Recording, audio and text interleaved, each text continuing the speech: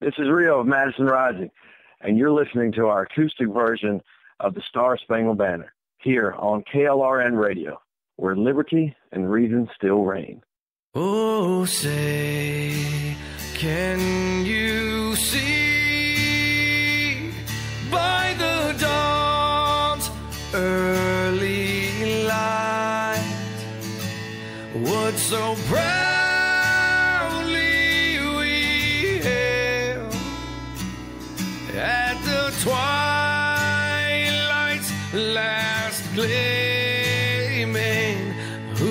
broad stripes and bright stars through the perilous fight. Oh, the ramparts we watched were so gallantly streaming,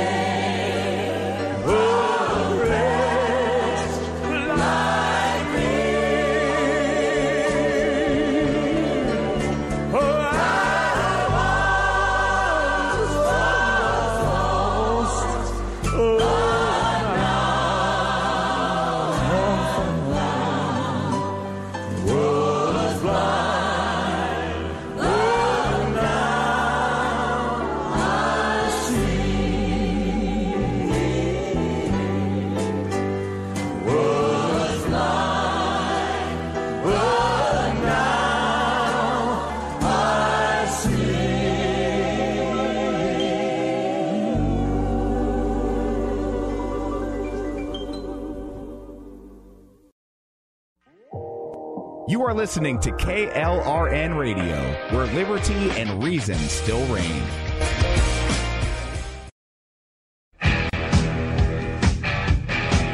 KLRN Radio has advertising rates available. We have rates to fit almost any budget. Contact us at advertising at klrnradio.com.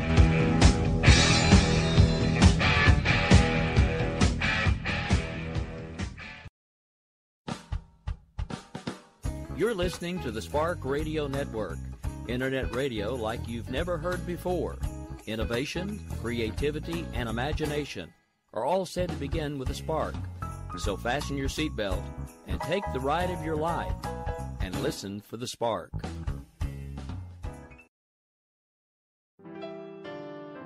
God's Pure Word of Faith with Richard Hardin can now be heard Monday through Friday mornings at 7 a.m. Central, 8 Eastern and on Saturday and Sunday mornings at 6 a.m. Central, 7 Eastern. Join him and let's turn our country back to God. It only takes a spark to start a forest fire. Let's get on fire for the Lord. Right here on KLRN Radio and the Spark Radio Network.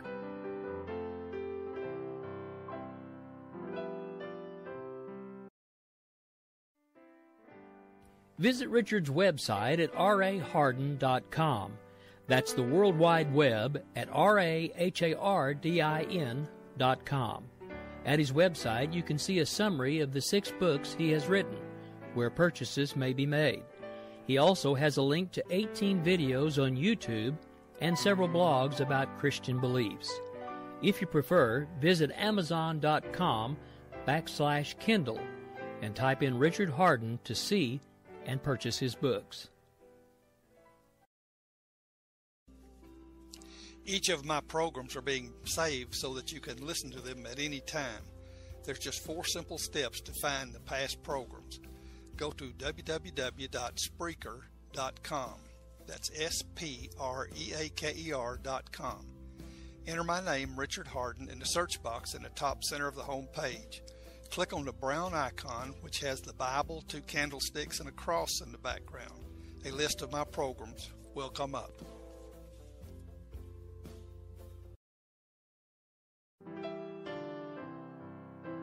You're listening to God's Pure Word of Faith with Richard Hardin.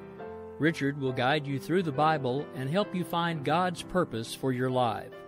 Now, here's teacher and author Richard Hardin.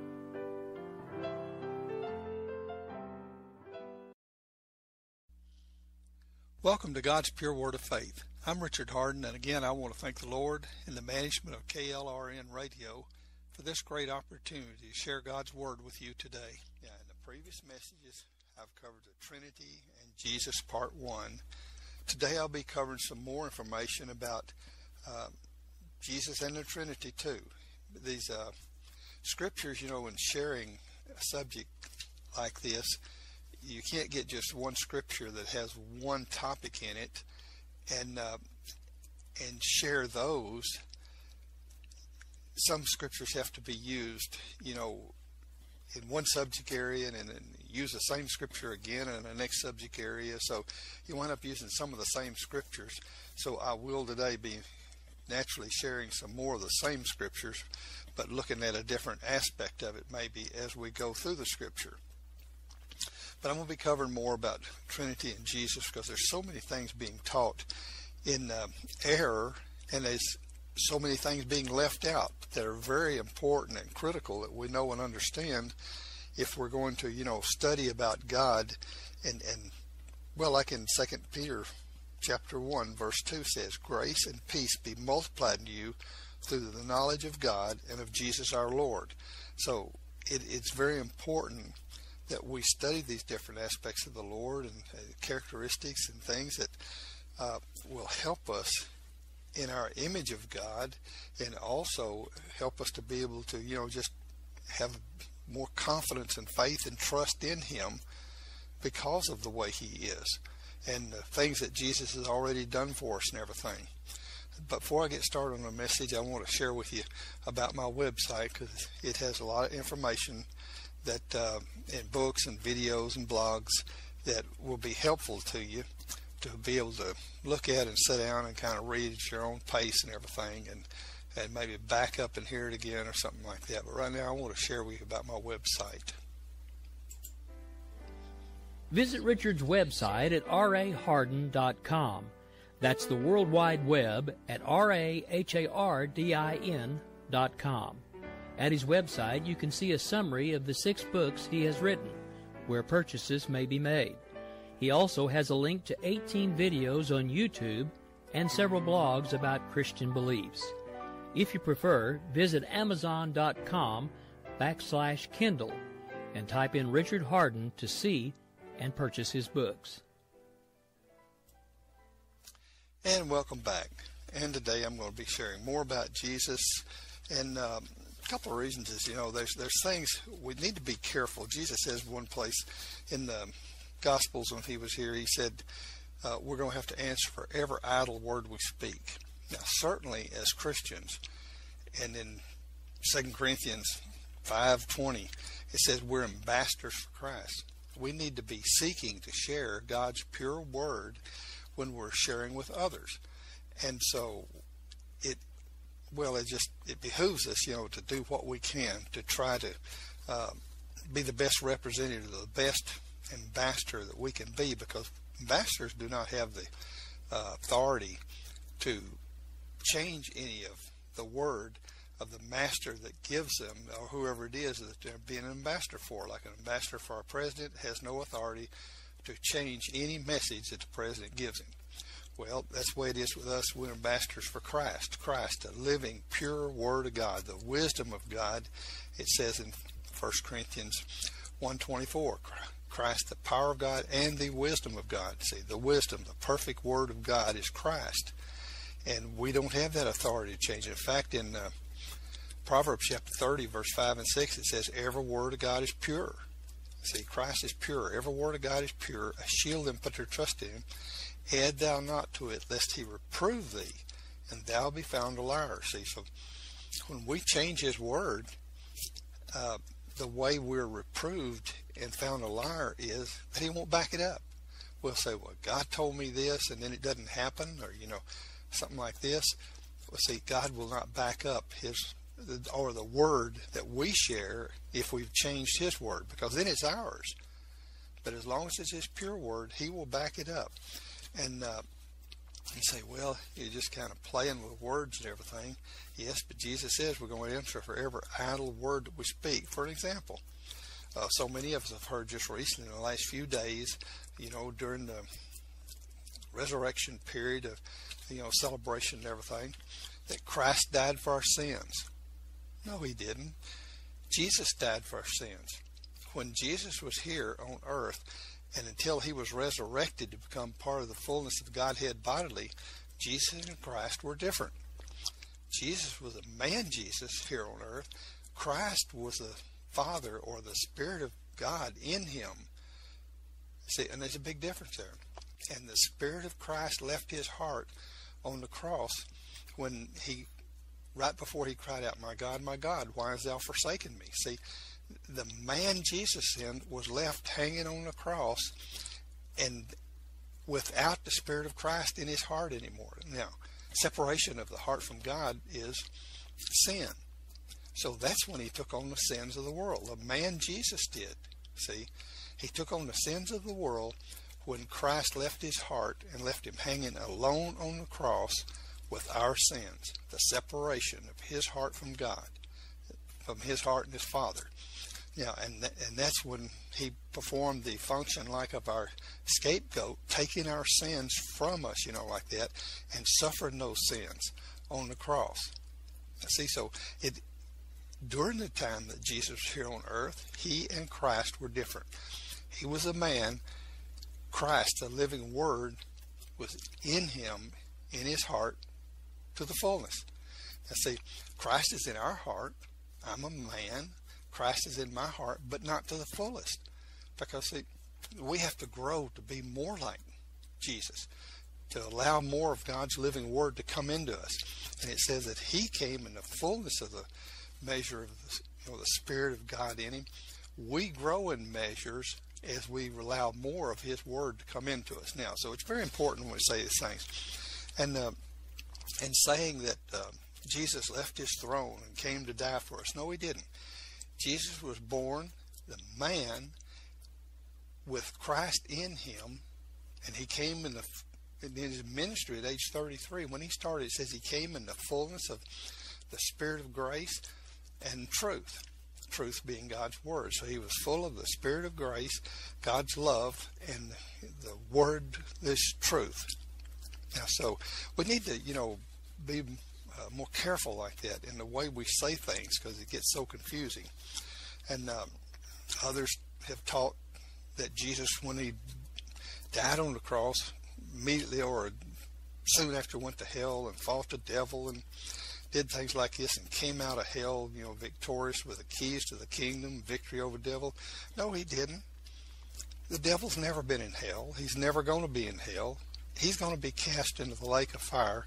Revelations uh, chapter 20 and verse 10, when it starts talking about the lake of fire, right before that, it says that he is a the devil and his angels are cast into the lake of fire. Then mentions and talks about the white throne judgment. And then it says hell and everything in it will be cast into the lake of fire. See, the devil's not in hell today. He's here on earth, deceiving people and doing his work, trying to keep people from turning to the Lord and trying to separate us, cause us to be confused about God's word and cause us to, you know, fail to enter into that relation with God that God wants us to have. And um, we can only please him, please God by faith. Hebrews 11:6. But without faith it's impossible to please God. For he that cometh to God must believe that he is, and that he's a rewarder of them that diligently seek him. So if he can plant any doubt in people's minds to keep them from diligently seeking God, you know, if you don't believe a promise, if you don't believe something in God's word necessarily, and it's it's so good that you know, well, like John 15:7, if you abide in me and my words abide in you, ask what you will, and it shall be done to you. That is such a fantastic promise if we're just receiving His words in our heart and living according to them. We'd get all our prayers answered. Jesus did. He got all of His prayers answered and everything. But if the devil can just cause us to have that little bit of doubt in us, like it says in the book of James, we must ask in faith. But if we have a little bit of doubt, we won't diligently seek after something if we really don't believe that it's going to do us any good. But then also, it says, He that cometh to God must believe that He is, and that He's a rewarder of them that diligently seek Him. And without faith, it's impossible to please God. So if He can cause us in any way to not have faith in God, or to, you know, to diligently seek His Word and everything like that, then we cannot have the relationship with God that God wants us to have. So that's the devil's job in working on earth is to try to keep us separated in our heart or keep us separated to where we're not fulfilling God's purpose for us here on earth. And like it says also in first excuse me, second Timothy one nine, that God saved us and called us to a holy calling, not according to our works, but according to his own purpose and grace created in Christ Jesus before the world began. So you have a special holy calling here on earth from God in your life. And if the devil can keep you from seeking it, see, you'll never find it because we won't just stumble into it. We have to set ourselves to seek the Lord. And it's evil if we don't. Now, so that, you know, the devil is here working on earth, trying to deceive people. And that's where Jesus fought the devil because the devil had him arrested illegally that night, had him tried illegally by the Sanhedrin, that is according to the laws of that day and everything of God. And so he could have argued back and fought back, but that's why he's called our lamb without blemish because um, sheep don't fight back. They just kind of go. And Jesus didn't fight back either. Uh, he let his father take care of him as he was going through that. He didn't argue and fight. And then on the cross, when he got through all of that, all the suffering of, you know, the bleeding and dying on the cross from the nail pierced hands and feet and the thorns on his head and the plucking his beard and the stripes on his back. And he got through all of that. He says, Father, forgive them, for they know not what they do. He was praying for those people that had been persecuting him there and was being, you know, used in a sense. But he made it all the way to the end, dying with love in his heart for those people. So that's where he fought the devil. He didn't go to hell after he died and fought the devil and fight the devil down there. He fought him here on earth and was victorious. And on the cross he said, It is finished. And he had finished his work. In several places in the scripture it says he suffered once in sins for us. But then see, after that time he was resurrected and God loved well, he loves everybody with a perfect love. But God was so pleased with Jesus and what he did and going through all that the perfect walk of faith and shedding his blood on the cross and everything, dying for our sins. God was so pleased with him, he exalted him not to just be our mediator, but through that, he exalted him to the fullness of the Godhead bodily and completed the Trinity with Jesus in. The exalted man Jesus. So when we say that Jesus went to hell and fought the devil, that you know it's impossible. The devil's never been in hell in the first place, and that Jesus fought the devil here on earth. Now, so today, then, let's see, I'm going to start in. Uh, well, let's see. I got a little off the subject there to to get started and everything. But uh, the Trinity concept of God, just a quick review here from what was shared in uh, the previous message, is a spiritual relationship of the Trinity is similar to the physical relationship between uh, in Genesis chapters 42 to 50, Joseph, who was exalted by the Pharaoh to the second highest position in in the land, he was above everybody in the land except the Pharaoh. Um, and Joseph then carried out the Pharaoh's will by his word. So the relationship between Joseph, the Pharaoh, the Pharaoh willed, Joseph performed through his word and gave uh, Joseph the authority, full authority over Egypt, except for the Pharaoh, to perform the Pharaoh's will. Now, in the spiritual relationship of the Trinity, the Father wills, but He's like Jesus said in um, Matthew 28 18, all power in heaven and earth given to me. Uh, God the Father wills, Jesus performs the Father's will through his living word, Christ. See, when Jesus speaks, that living word, Christ, goes forth. Up until that time, in the Old Testament, it says that um, God spoke and the living word went forth, like he said, Let there be light, and the living word, Christ, then went forth. God spoke to Moses when um, he was growing up, and it says in Hebrews um, chapter 11, verse 26, that Moses esteemed the reproach of Christ greater than the riches of Egypt. So he left Egypt. He, left Egypt to join his own, you know, um, people. But it was Christ. God is, you know, supreme and he speaks his word, but he and his word are the same. It's just he's manifesting his word in a message in our mind and heart or something that we can understand that he's giving us some type of direction or something. But in Psalms 138 2, says God has exalted his word above all his names because he and his word are the same, like in John chapter 1, verse 1. In the beginning was the Word, and the Word was God, and the Word was God. Now, so uh,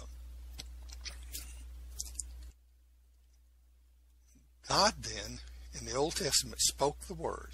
But if you look in Hebrews chapter 1, uh, verse 1, verses 1 through 3, it says that in the times past, that God spoke through the prophets, He spoke to the people directly, but it says now He's given Jesus the authority to speak His word. Jesus is the one now that speaks to us. So God has kind of stepped back, like the Pharaoh stepped back when Joseph was, you know, uh, exalted to the second highest position. Well, when Jesus was exalted to the fullness of God, God loved what He did and, and uh, pleased so much what He did that Jesus is the speaker of the Trinity now. But when He speaks, His word has is is just like the well, not just like it is the Word of God because Jesus is in the fullness of the Godhead bodily.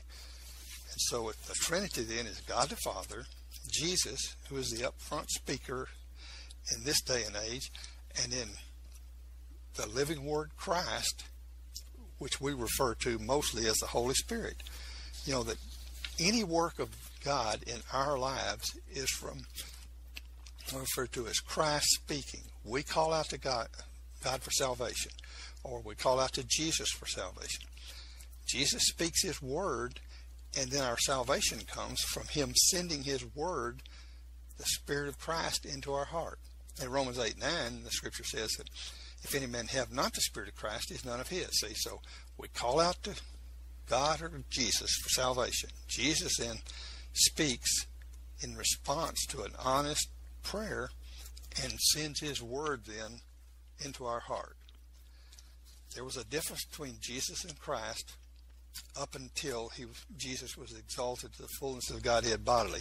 And that's why it's used several times in a way that um, the people of the Old Testament, the writers there, see that was after Jesus was exalted to the fullness of Godhead bodily.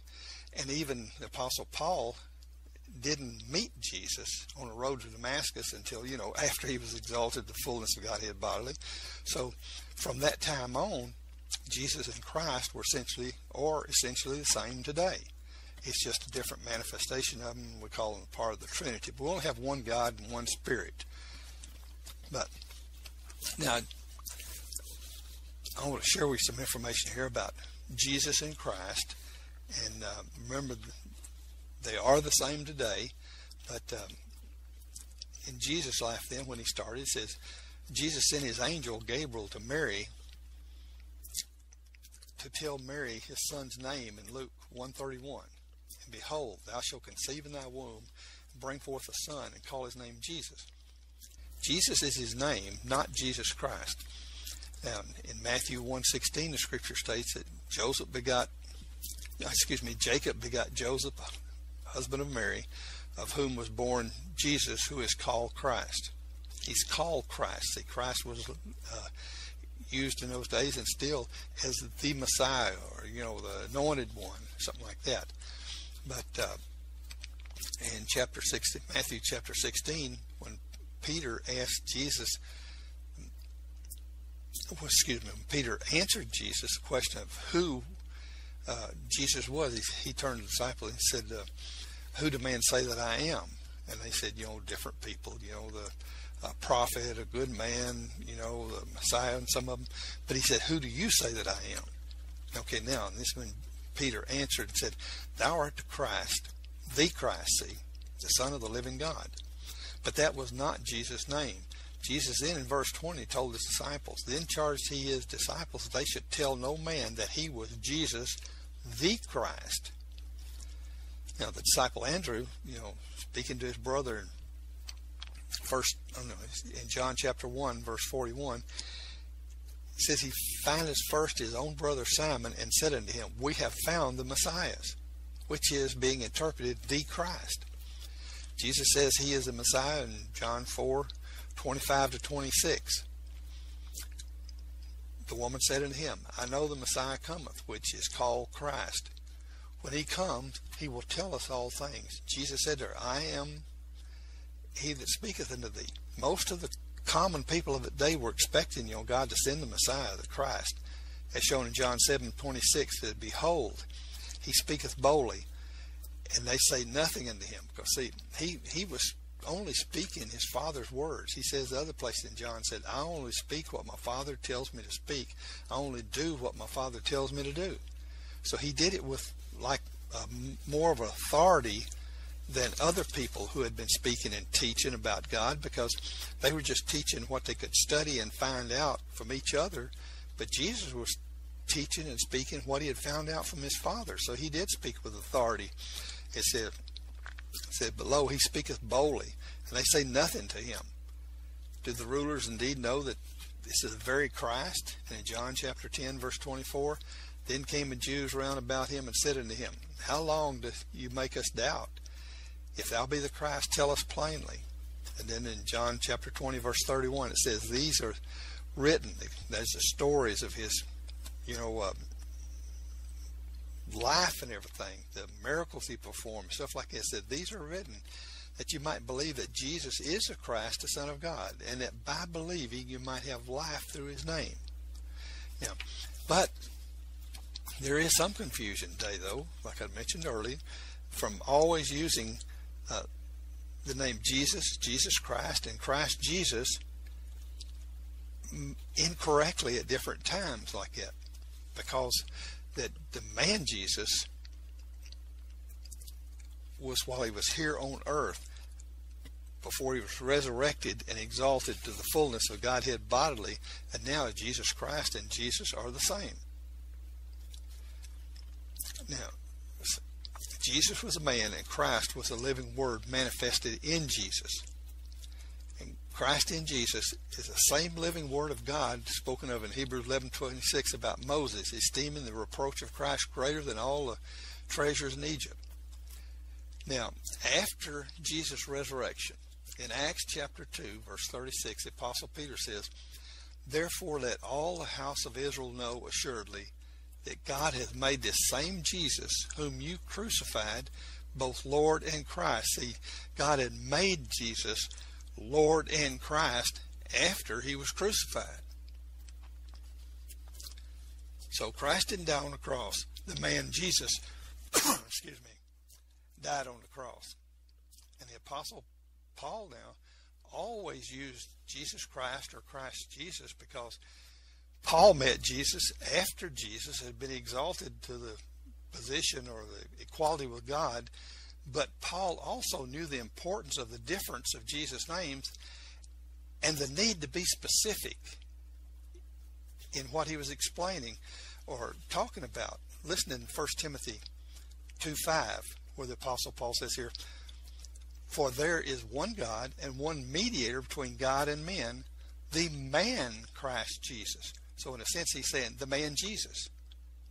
Because the man Jesus is the one that God was going to exalt to become our mediator, but he exalted him through that position just to the fullness of the Godhead bodily. He was so pleased with Jesus. Therefore, after Jesus' death on the cross to become our mediator, he then was exalted to equality with God. And 1 John 2.22 states, Who is a liar but he that denieth that Jesus is the Christ? See, Jesus the man Jesus was the Christ, the Messiah that God had sent, you know, with his message, his anointing, and everything. But he became the fullness of the Godhead bodily after his resurrection, and God exalted him to the fullness of that position. So, uh, and again, Christ left him right before he died on the cross when Jesus cried out in Matthew 27 and Mark 15. My God, my God, why hast thou forsaken me? And then the Spirit of Christ, or God, left Jesus, the man, hanging on that tree to take our sins. And then in John 19:30, Jesus says, "It is finished. His work was finished."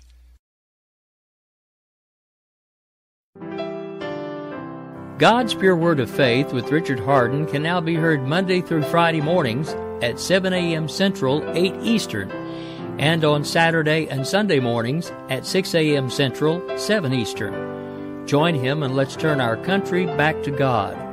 It only takes a spark to start a forest fire.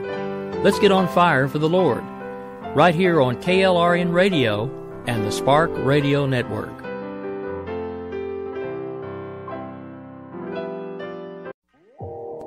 You are listening to KLRN Radio, where liberty and reason still reign.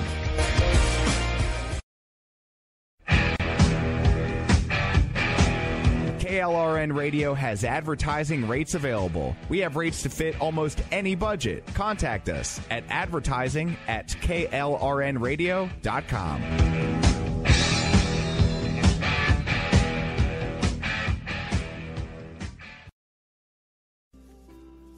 Each of my programs are being saved so that you can listen to them at any time.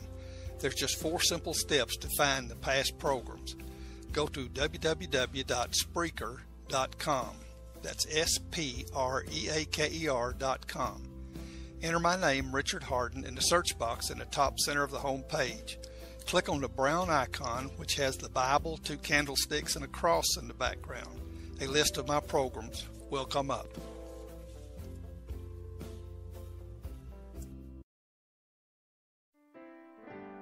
Visit Richard's website at rahardin.com. That's the World Wide Web at rahardin.com.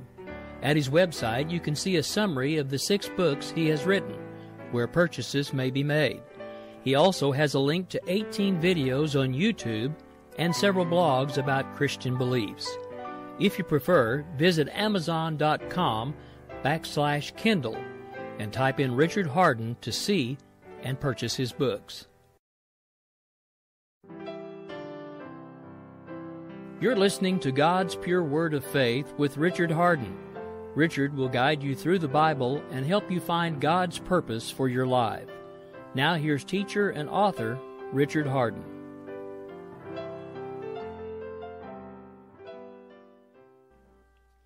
Welcome back.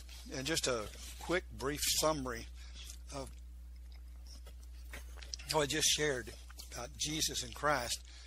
A very short time before Jesus died on the cross, the Spirit of God, Christ, left the man Jesus. And since sin is a separation of the heart of man from God, Jesus, who never before knew any separation from his Father or sin, was left with the total sin of mankind for that short period of time while people were standing around and some even tried to give him vinegar and were waiting and some thinking to see Elijah's come and rescue him or something. But the Apostle John records that after the vinegar was offered to Jesus, Jesus said in John 19:30, "It is finished," bowed his head and died, fulfilling the requirements for our sin debt. The perfect sacrifice and the shedding of his blood or the sprinkling of his blood. It says in 1 Peter chapter 1, the sprinkling of Jesus' blood, the, the blood, you know, out of his head from the thorns on his head, the people plucked his beard his two hands and two feet were pierced with the nails, and then the stripes on his back. It's, it fulfilled the seven sprinklings of the blood of the sacrificial animals in the Old Testament. Jesus' blood that they were sacrificing on the cross, but as he was dying on the cross, he was uh, sprinkling or sharing his blood or giving his blood, the life blood, for us and our sins. And that's what it means by the you know the sprinkling of Jesus' blood. Now, Christ is the Holy Spirit. In uh, the book of Acts, some people were asked, Have you received the Holy Spirit when you believed? A lot of times, the word believed is used in the, well, just used incorrectly because they'll say, "Are you a believer?" And then uh, in the asking a question in that way, a person you know say, "Oh yes, I'm a believer. I believe in Jesus. I believe in God," or something like this. And quite often, I've heard ministers say, "Well, we're believers, you know, and and we're all going to heaven and something." But see, just being a believer doesn't mean we're going to heaven. That's the seriousness of it. Uh, James 2:19 it says the devils believe and tremble. And the devils believe and tremble. That means there's something different about uh, what we as Christians must do or you know respond or or receive other than just believing. For an example, if you have doubt about something, you set yourself to seek the Lord, at least prayerfully you will. A lot of people, you know, turn to alcohol, drinking, and uh, different things, power, money, and stuff like that, to try to, you know, cover up their uh, doubts and fears and stuff. But uh, we set ourselves to seek the Lord, though. And as we're seeking Him, praying and fasting like this, then when He speaks to us, he, uh, when God sends His living word to us, or you know, when we recognize and know that is, you know, Jesus or God speaking to us, well, then uh, we come to a point intellectually that we believe it is God speaking to us, and we know it's God speaking to us. Now, I know if you're a Christian out there, there's times in your life where you know without a shadow of a doubt that God manifested some way or another to you a message or something, and that's what we call, you know, speaking to us or something. Anyway, so what happens then? It's not the fact that we just believe that God has spoken to us. It's how we respond to what He speaks to us. Like in uh, Hebrews 4 2, it says, The gospel preached to them did not profit them, not being mixed with faith in them that heard it. See, just hearing God's word, faith comes by hearing, hearing the word of God. But just hearing and believing God's word is not salvation. That doesn't make you a Christian. You may have been sitting in church for years, like I did, knowing or believing that God's word is true and everything, but that didn't make me a Christian. Just like it says, faith comes by hearing, hearing the word of God. But then in Psalms 119 9, it says, Wherewithal shall a young man cleanse his way? It says, by taking heed thereto according to God's word. See, just hearing God's word is not the final step in the salvation process. Because God has promised to bring everybody to a knowledge of Him. Then we have to make the choice to respond correctly. Second uh, Thessalonians 2 10 11 says, the Apostle Paul says that people go to hell because they reject the love of the truth. So when God brings us to that knowledge that we're sinner, that Christ is the answer, and that we should make some type of response, we have to choose Him. We have to choose to receive His word into our heart to faith. And that then is how we receive the love of the truth. Because, you know, His word, Jesus says in John 6 63, My words are spirit and their life. So we receive His Spirit into our heart, we're receiving the love of His words. But if we reject, then just because we know and believe that God is real, that God is true, see, we're not receiving Him into our heart to create in us a new heart, a new life for salvation. So just the fact that you believe and you, you know, have that confidence in you that God is real and that Jesus was God's son like that, that does not just knowing that make you a Christian we have to make the proper response to it. And uh, the people that was in Hebrews 4 2, where it says, And the gospel preached them did not profit them, not being mixed with faith in them that heard it. See, they were rejecting the love of the word, the love of the gospel. And, and that is so difficult to explain because for 20 something years I was in church the same way. I knew God was real. I knew that Jesus was his son and like this, but I had not received, sense, His words into my heart to create in me the new heart, the new life, to, in a sense, respond correctly. I have a friend here in town that said after preaching for several years that one night he was inviting people to come and surrender their hearts to the Lord and ask God to forgive them their sins and, you know, turn to the Lord with all your heart. And he said a voice spoke to him and said, You've never done that. And he said it shocked him so much. He said, in his heart and mind, he said, That's right, I haven't. He went around to the front of the pulpit and received Christ as his personal Lord and Savior. While he, you know, had been preaching for several years. We know what to do, but see, we've got to do it. Not just know what the information is. Now, the Holy Spirit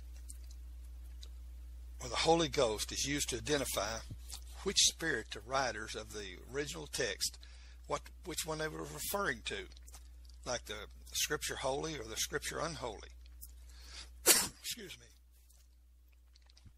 There's only one Spirit of God, as the Apostle Paul states in Ephesians 4 4 to 6.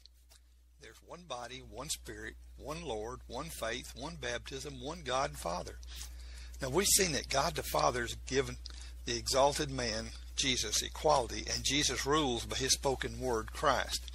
Therefore, the Holy Spirit is the overall reference to any action of Christ, the living Word, moving or working in our lives on earth because Jesus and the, God the Father in heaven.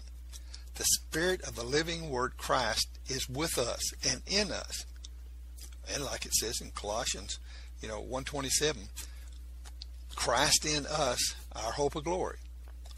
And, and we use a lot of names uh, interchangeably with the Holy Spirit or in the place of the Holy Spirit.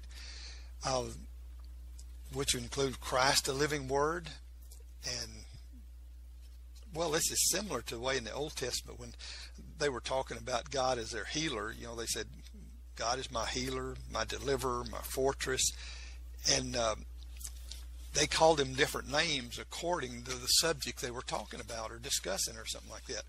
Well, in the New Testament, the writers do the same thing. They have a lot of different names for uh, the Holy Spirit and Jesus. The uh, let's see, Spirit of Truth, Spirit of Life, Spirit of Christ, Spirit of Adoption, Spirit of His Son, who is Christ. You know, the Spirit of Jesus in Him was Christ. The Spirit of Promise. And see, each time the writers would, you know, use one of these terms like this, the Spirit of uh, Truth, they were talking about God's word because Jesus says, "My words are truth in their life." You know. Also, he said in uh, John chapter 17, asking in his prayer, he says, "Sanctify them by Thy word. Thy word is truth." So, when they use these different expressions like that, it, it it's not just a different aspect of God or something. It just brought to mind what area they were going to be discussing as they were writing this because there's only one God and one Spirit. Now, Christ then is the work of God's Spirit in our hearts. And we refer to that as a work of grace. When He comes into our heart to create us a new heart, a new life, you know, like that, we call it the work of grace because when God just puts His Spirit on people, um, that's mercy. His Spirit on us and to us and working in our lives like that. Uh, so, in believing that God is real and believing that Jesus, you know, was God's Son, they died on the cross and all this, our only proper response to that is in our heart then to receive Him into our heart, invite Him to come in and not just know that uh, he's real and like this. So often, you know, using the word belief like that is a well, it, it's misleading sometimes because people indicate that just if you're a believer, then you're going to be taken care of. There's going to be a lot of believers in hell in the lake of fire because they didn't respond then according to their belief. You know, they say something like, uh, I want to wait till I get out of college. I want to wait till I get married. I want to wait till something. I want to get my life cleaned up. See, God doesn't want us to wait. When we come to a knowledge of Him, and it says in Titus 2.11 that uh, the grace of God that bringeth salvation appeared to all men, that is the time of salvation. The time of salvation is when you hear from God and recognize the truth of Him and His love in the heart. So, when when the people ask, you know, have you received the Holy Spirit since you believed? Something like this. Yes, we believe first, and then we respond and call out to uh, Jesus for salvation, and then He sends His Holy Spirit, the Spirit of Christ. Then, as a result of our prayer and calling out to Him for salvation, He sends the the Holy Spirit or the Spirit of Christ then back into our hearts. As it says in Ezekiel 36, 26, a new heart also will give you, a new spirit will I put within you, and I'll take away the stony heart out of your flesh, and I'll give you a heart of flesh, and I will put my spirit into you. See, so just believing is not the, the total end result that we need for salvation. Now, we do need to believe, certainly. But it doesn't stop there. We have to respond correctly according to that belief. Now, Jesus has been exalted to the fullness of Godhead bodily. Jesus rules the, the, the kingdom by his spoken word Christ. Christ, the living word, then, who was manifested in Jesus, is the same Christ, the living word, who lives in our hearts today as Christians. See, the spoken living word. When, when God teaches us, and Jesus says in see John 6:45 and they shall all be taught of God every man therefore that heard and learned of the Father cometh unto me so when Jesus teaches us that we're sinner and we accept it. He teaches that Jesus is the only answer for our sins. We've got to accept that. But then we have to respond to saying Lord please forgive me of my sins. For whosoever shall call upon the name of the Lord shall be saved. So we respond then correctly by humbling ourselves to God's Word, saying, Lord Jesus, please forgive me, come into my heart, and save me. See, so that then is how we receive Christ into our heart. He won't come in uninvited. And uh, the devil will do everything he can to cause people to just say, well, I believe in God. I believe in Jesus, you know. And uh, I've been going to church for all these years. You know, I've been a deacon or, you know, a deacon's wife or something like that. And I've served on these different boards and everything. But that is not what makes you a Christian. Making you a Christian is you humble yourself according to God's word. And, and the devil will try to cause you out of pride to think of all these great things you've done that, that I believe God is real and I believe Jesus is his son, and things like this and you and you know that and you have confidence in it because see God has taught you that but also that we must humble ourselves to his word and respond to him and invite him to come into our hearts. And that is how we become a child of God and born into the family of God. Like you know Ezekiel 36 26 again a new heart also we give you a new spirit will I put within you. I'll take away the stony heart out of your flesh give you a heart of flesh and I'll put my spirit in you. Now when his spirit comes to live and abide in us he cleans us up or he creates us a new heart and everything but then now God is living in our heart. We're in union with him by his spirit in us. We're children of God. And Galatians 4 6 says and because you're sons God has sent forth the Spirit of His Son into your hearts, crying, Abba, Father. So our response to knowing the living Word, knowing the gospel, to knowing any of God's Word, the only positive response has got to be from us accepting and receiving that Word from God into our heart. And that's what it means when it says that, but without faith, it's impossible to please God, because without receiving His um, spirit of his words. And his words are spirit and life to us. Without receiving them, inviting them to come into our heart, it's just head knowledge. For an example, you know, like a James 2.19 says, the devils believe and tremble. Well, when Jesus came into the presence of the demons, they cried out, Jesus, thou son of the Most High God, why do you torment us for our time? They knew who Jesus was. They confessed Jesus they knew their time was coming. They knew it wasn't then. They knew it was, you know, later. So they say, Jesus, thou son of the Most High God, why do you torment us for our time? See, perfect words of faith, not, excuse me, no, not perfect words of faith, but perfect words of truth there. They knew their time was coming and it wasn't yet. They knew he was the son of God and they spoke it and confessed it. But see, that wasn't salvation to them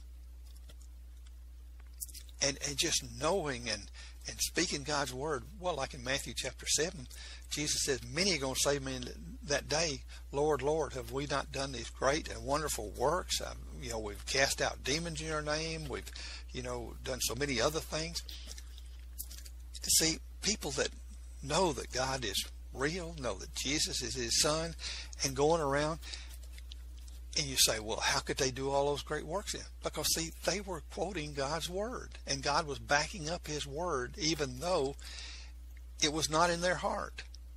See, God even backed up the, His Word through a donkey back in Numbers, you know, to Balaam, the prophet Balaam and everything. God will back up His Word regardless of who speaks it. if they speak his pure, true word.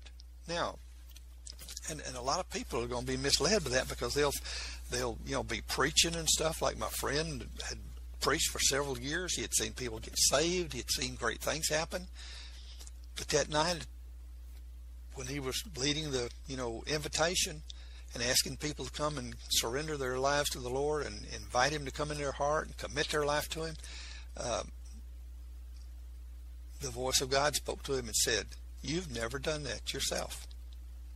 And he realized then that he had been just you know carrying the message to others but the message wasn't in his own heart. He was doing it out of just an intellectual type uh, effort and jesus says matthew um, chapter 7 that many going to say in that day lord lord have we not done these great and wonderful works he's going to say depart from me you workers of iniquity see workers of iniquity their hearts still filled with that iniquity and everything they haven't received the changed heart, the changed life. Now, Jesus was very different than us here on earth. Uh, because when uh, he was born, he was born of God, his heavenly Father, with the young lady Mary. God was his father, and young Virgin Mary, who was espoused to be married to Joseph, was Jesus' mother. The scripture states in Luke 1 26 to 38 that God sent the angel Gabriel to tell Mary about what was to come to pass. In verse 27, Mary was described as an unmarried virgin. In verse 28, the angel said she was highly favored. Now, see, favor is an Old Testament uh, relationship between someone and God. God's mercy or God's love to people, one way love. That's all they had in the Old Testament and His Word. See, uh, Psalms 25:10 says, "Mercy and truth were all the ways of the Lord to those who, you know, uh, accepted His word and you know obeyed His testimonies and covenants." So, for all the godly people of the Old Testament, all they had was God's love, mercy on them, to them, and His word to them his living word Christ to them.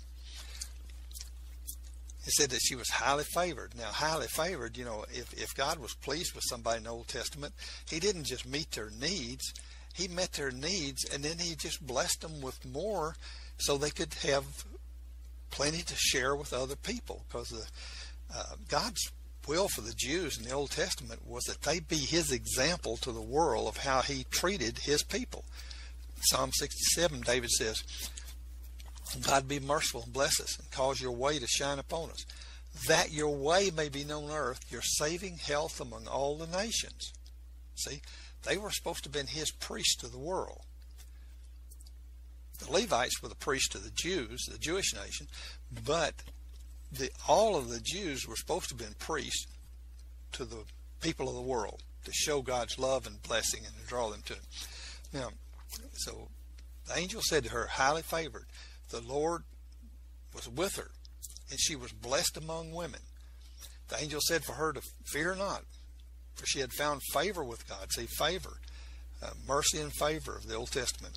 In fact, the word grace was misinterpreted or miswritten in the Old Testament oh, 70 to 80 times, and every time the word grace was uh, incorrectly written into the Old Testament, it should have been favor or mercy. Two or three times it should have been mercy. Most of the time it should have been favor. If you look that up and study it, you'll see that there was no grace in the Old Testament until Jesus came in the fullness of grace. She was told she would conceive, bring forth a son, and call his name Jesus. Now, that living word of God through the angel to Mary was the seed that caused her to conceive and bring forth the son Jesus and the Spirit of God was in her conception, in Jesus, throughout the you know period of time of uh, the nine months before he was born and everything. And when he was born, he had the Spirit of God in him. That time, the only time he didn't have the Spirit of God in him was that last bit of time before he died on the cross when he said, My God, my God, why hast thou forsaken me? See, he had never known any sin. He had never known any separation of his heart from God until he died for us and took our sins on the cross. And that was the man Jesus. Now, and he was she was told to call his name Jesus. The angel said he'd be great and he'd be called the Son of the Highest, and the Lord God would give him the throne of David, and he would reign over the house of Jacob forever, and his kingdom would have no end. And the angel said Jesus would be called the Son of God. Now, Mary was highly favored, was a highly favored young girl, it says. But nowhere in the scripture is it ever indicated and stated that she was sinless or our mediator with God. The only sinless person was Jesus, and our mediator between us and God was to be Jesus too, except God was so pleased with him that he exalted him through that position to the fullness of the Godhead bodily. So Jesus became then equality with God and the Spirit of Christ, God's spoken living word, into the Trinity. The only sinless person. Now, Mary was a common young lady who happened to have a very special calling of service, as did Abraham, Jacob, Esther, John the Baptist, and other people. And, and like each of us, we have special holy callings. 2 Timothy again, 1 9, who saved us and called us to a holy calling, not according to our works, but according to his own purpose and grace, which was given us in Christ Jesus before the world began. We each have a special holy calling. And we normally must have to really, you know, seek and and search for it because we have to care enough about God and His love and everything that we will actually, you know, want to know what it is. In fact, uh, in in August after I became a Christian in 1974, just a couple of months of being a Christian, God told me in a dream that I was going to preach and teach on the radio. At that time, I didn't even know there was such thing as a Christian radio station or you know something like that. I didn't know except on Sunday morning when you know they had uh, shut down the country and western stations and let people preach and things like that. That was the only uh, thing that I had known about then because uh, all my stations were set and I listened to them and the messages came on Sunday morning. But uh, many people teach because it stated that Mary was highly favored that it meant Mary was full or endowed with grace. No, see, Grace is a work of the Spirit of God in our heart. Any work of the Spirit. See, now, the first work of the Spirit in our heart is like in uh, Ephesians 2 8, where it says, We're saved by grace through faith. So if we accept and obey God's word and accept that we're a sinner and accept that Jesus answered, and then we humble ourselves and accept into our heart the words of the gospel, then the words are alive in spirit, Jesus says. So when they come into our heart, that work of the Spirit then of His Word into our heart creates in us a new heart, a new life, what we call the work of grace for salvation. But see, that work of grace is a response, though, of Christ in our heart to us inviting and letting the living Word in, inviting the living Word into our heart. But uh, to be endowed with grace. That only Jesus is the only one that had grace in the Old Testament.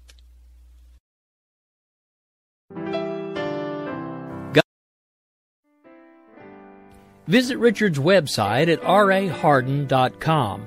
That's the World Wide Web at R-A-H-A-R-D-I-N.com. At his website, you can see a summary of the six books he has written, where purchases may be made. He also has a link to 18 videos on YouTube and several blogs about Christian beliefs. If you prefer, visit Amazon.com backslash Kindle and type in Richard Hardin to see and purchase his books. God's Pure Word of Faith with Richard Hardin can now be heard Monday through Friday mornings at 7 a.m. Central, 8 Eastern and on Saturday and Sunday mornings at 6 a.m. Central, 7 Eastern. Join him and let's turn our country back to God. It only takes a spark to start a forest fire. Let's get on fire for the Lord. Right here on KLRN Radio and the Spark Radio Network.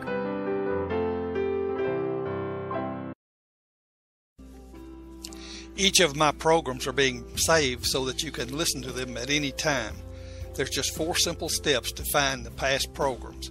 Go to www.spreaker.com. That's S P R E A K E R.com. Enter my name, Richard Hardin, in the search box in the top center of the home page. Click on the brown icon, which has the Bible, two candlesticks, and a cross in the background. A list of my programs will come up.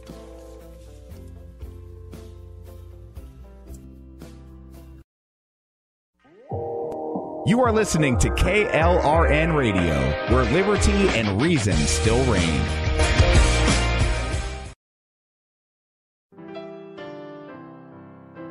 You're listening to God's Pure Word of Faith with Richard Hardin.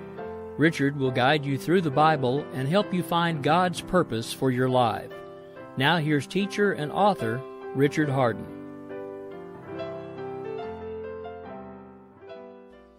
Welcome back.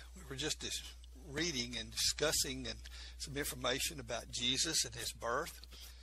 Now, that even though Mary was highly favored, she was not filled with and endowed with grace. Grace is a work of the Spirit of God in any form that we call him the Spirit of Christ, the Spirit of God, the Spirit of, you know, grace, truth. Or anyway, God's Spirit in our heart is what we call the work of grace. And the work of grace at salvation is when, uh, like the prophet Ezekiel said in Ezekiel 36 26, which I repeat so many times, it's such a clear definition, almost definition uh, of the work of grace. He says, A new heart also I give you. Whatever it takes to give us a new heart is part of the work of grace. A new heart also I give you. A new spirit will I put within you. As He's putting His Spirit in us, that's a work of grace because, you know, His Spirit working in our heart is what we would call grace. A new heart also will give you. A new spirit within you. I'll take away the stony heart out of your flesh. However He goes about that, that's part of the work of grace for salvation. So I'll give you a new heart. And it's going to be a new cleansed heart. So we all come into the, you know, the body of Christ with the with the same new perfect uh, cleansed heart by, you know, it's cleansed by God. New heart also will give you. A new spirit will I put within. I take away the stony heart of flesh, give you heart of flesh, and I'll put my spirit in you. See, He doesn't just stop with cleaning us up and cleaning our hearts and giving us, you know, this good new heart and everything. He comes to live in our heart. The people of the Old Testament didn't have that. All they had, they got forgiveness through their sacrifices and everything. But then their sins were just covered until the, you know, the next time they went to offer sacrifices to get the sins forgiven again. They didn't get to change heart. They didn't become children of God. His Spirit wasn't living in them. And like Colossians 1.27, Christ in us, our hope of glory. And, and we know that Christ lives in us because of the things he's done and stuff like this. Now, uh, John 17, 17, Jesus in his prayer said, Thy word is truth. So Jesus came in the fullness of grace and truth. In fullness of God's word, fullness of grace. the scripture state in John chapter 1, verse 14, 17. Um, and the Word was made flesh and dwelt among us, and we beheld His glory, the glory of the only begotten of the Father. The only begotten of the Father now. Because, see, uh, God was His Father, and, and Mary conceived by that living Word that God sent to her through the angel. We beheld His glory and glory of the only begotten of the Father, full of grace and truth. So He was full of grace, the work of God's Spirit in His heart he was filled with the Spirit. And truth, God's Word. For the law was given by Moses, but grace and truth came by Jesus Christ. Now, see, he says Jesus Christ here, but see, grace came by Jesus who was filled with Christ. Now, the scriptures do not tell when Jesus received the fullness of grace. Now, this is something you may not have heard before, and you need to think and consider this because when you uh, see what it says in the scriptures, we, we accept that as God's word to us. The scriptures do not tell when Jesus received the fullness of grace. And you say, well, it says he came in the fullness of grace. He was born that way. No, he wasn't. The Spirit of his Father working in his heart and the fullness of truth. His Father's living word filling him. Now, that would be the fullness of grace and truth would be that he had all of you know, he just filled with the Spirit and he had all of God's Word. But now listen in Luke chapter 2, verse 52. Luke chapter 2, verse 52. And Mary found Jesus in the temple. You know, when they, they went to the sacrifice and everything, went to celebrations, and uh, as they were living, I mean, as they were leaving to go back home, Mary and Joseph them missed Jesus. They went back to look for him, and they found him in the temple where he was, you know, talking with the elders and discussing the scriptures and everything. Well, in Luke 2:49, listen to scripture. Jesus stated in Luke 2:49 that he knew he should be about his father's business. But in verse 52, right after that, the scripture says, "And Jesus increased in wisdom and stature and in favor with God and man." Now, wisdom is God's word. In 1 Corinthians uh, chapter 1, verse 24, it says, Christ, the living word now, it says Christ, the power of God, you know, the creating power of God is God's living word. Christ, the power of God, and wisdom of God. So Christ, the uh, spoken living word of God, is the wisdom of God. But here at age 12, uh, it says that Jesus increased in wisdom. That means he increased in more of God's living word. He increased in stature and in favor with God and man. Now, if he had been filled with the Spirit of God at that time, at age 12, and the Spirit of his you know words, his living word, word and truth, he couldn't have increased any more.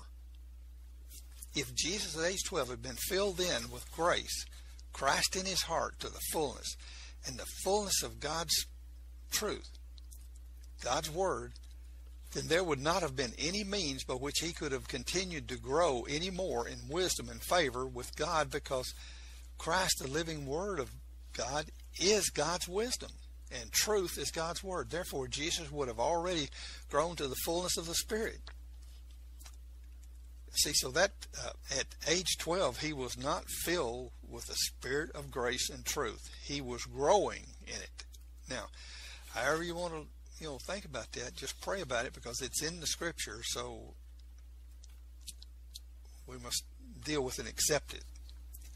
The Apostle Paul stated in Galatians 4 1 to 2 Now I say that the heir, as long as he's a child, differeth nothing from a servant, though he be Lord of all, but is under tutors and governors until the time appointed of the Father. See, now he did grow into the fullness because the scripture says he came in the fullness of grace and truth. Now, here, Paul could have been describing how Jesus grew in wisdom and favor until age 30, which is the starting age of priests. God gave in Numbers chapter 4, verse 43, uh, that priests start at age 30. They start kind of like an on job training at age 25, and then 30, the fullness of you being a priest, till about age 50, and then they became elders serving in the temple. Nevertheless, we know that John states in John 1:14, Jesus came in the fullness of grace and truth when he started his ministry. Now, how he grew into that, well, this is something that doesn't explain clearly here and everything, but it does say he came in the fullness, and we have to grow in measures to be like him. That is, the more of God's living word, the more we study his word, the more he puts in our heart, the more then we're filling up with His Word and His Spirit of His words in us. Jesus was conceived in the womb by the young Virgin Mary by the seed of God, the Father, through the living Word Christ that was spoken through the angel that God sent to him. The Apostle Luke states that Jesus as a youth grew in wisdom and favor with God and man in Luke 2.52. At some time before the start of his ministry, Jesus grew into the fullness of the Spirit because the Apostle John states in 114, the Word was made flesh and dwelled among us, and we beheld his glory, the glory of the only begotten of the Father, full of grace and truth. Now, that living Word that uh, was conceived in the womb of young Virgin Mary. It's like in 1 Peter 1.23, it says, We are born by an incorruptible seed, by the Word of God, living and abiding forever. See, we are, when we're uh, born into the family of God, and when He comes in to create us a new heart, a new life, and puts His Spirit in us, see, it's that same Spirit, that seed of God. Well, what's it, Romans 4.13? Uh, way to Abraham or his seed, but through the righteousness of faith. It's the seed of God spoken to Mary by the angel, the living word, that you know she conceived by that living word. Well, uh, we're born into the family of God by the incorruptible seed, which liveth and abideth forever. Uh, we were born into this physical life by the corruptible seed from our dads here on earth, but born into the family of God, and that's what it means to be born again. And Jesus said in John chapter 3 that we must be born again. And uh, that's being born into the family of God. Now, Jesus was, uh, or God was dissatisfied with his covenant of the Old Testament and the personal relationship that existed between him and mankind during the Old Testament period. God speaks through the scriptures of the Old Testament covenant in Hebrews chapter 8 says, But now he, Jesus, obtained a more excellent ministry, by how much also he is a mediator of a better covenant, which was established upon better promises. See, so whatever promise you can find in the Old Testament, if it's you know if it's a good one, it, you know it's got to be a good one. God made a promise to him, but the Scripture says here that Jesus was a mediator of that better covenant when he was here on earth. Um, and how could it be a better covenant? Because, well, his death and burial, you know, uh, his death on the cross, his sacrifice and everything, he is the foundation of all the promises to us now.